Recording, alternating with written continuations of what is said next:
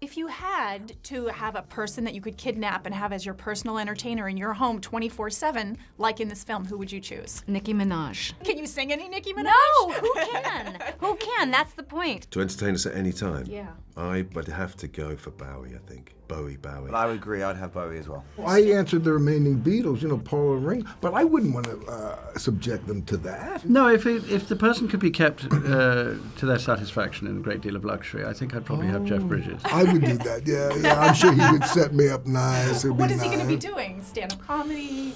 No, No, singing. would be Singing. singing. I Oh, I've would seen you you. I, yeah. yeah. We have the same one. Who? Prince. Little red Sorry. So, one character I won't say who regresses to their younger self in this film, so I don't want to spoil anything. Yeah. If we were to have either of you regress to your younger selves, what would we see? I was more mature when I was younger. God, I was in terrible punk bands. Somebody reading.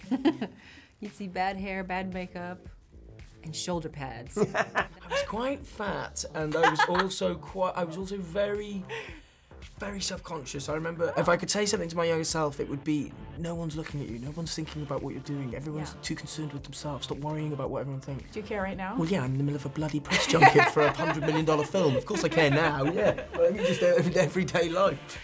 I would have a whip. so basically, nothing's changed. Not much Except you're getting paid changed. to do it now. Yeah, yeah. What's the technique? What's the skill? What, what, what's the?